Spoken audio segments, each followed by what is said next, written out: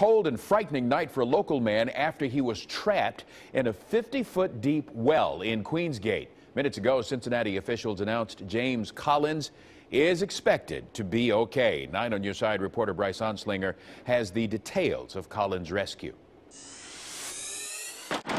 This was the end of an hour-long ordeal for a contractor working to clean the bottom of a well at the Metropolitan Sewer District in Queensgate. He seems to be conscious, and uh, uh, we're, we're very hopeful. The man was working with a crew cleaning the bottom of the well when a heavy section of pipe fell, hitting him in the back of the head. Piping is about uh, anywhere from 12 to 16 inches in circumference, and so if you think about 40, uh, 45 to 50 foot, it could be uh, at least 100 pounds or more that probably hit him in the back of the back of the head. With the victim injured and at the bottom of a 50-foot well, Firefighters had to use special tactics to get him out. He was put in a special stretcher that was designed for uh, confined space uh, rescue, where we could uh, move him vertically up the shaft and get him out. Four specially trained firefighters were lowered into the well to help with the process.